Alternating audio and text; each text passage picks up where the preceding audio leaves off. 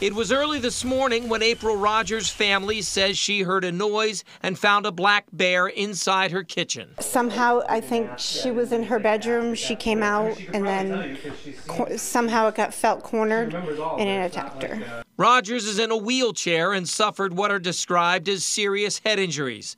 Officials believe the bear was probably looking for food, got trapped, and was unable to get out. And there was a empty bag of bird seed next to the front door. Now, whether it was up on the deck and it pushed the door and got in, and then there was some cat food in the house and it They'd obviously investigated that. Murray says she took in all her mother's bird feeders a while ago, but there have still been bears roaming this area. There's been some issues up here. Just last week, I drove down the road and saw one right in the middle of the road. So it, they're definitely um, prominent in this area. Officials say what exactly happened and how the bear got out of the home is still mostly speculation.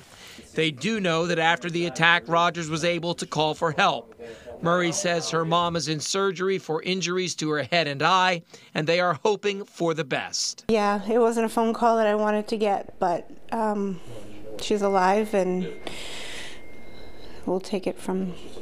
Hopefully, her injuries aren't that bad. Attempts to track the bear were unsuccessful. Now, the Fish and Game officials will set out a trap to see if they can capture the animal.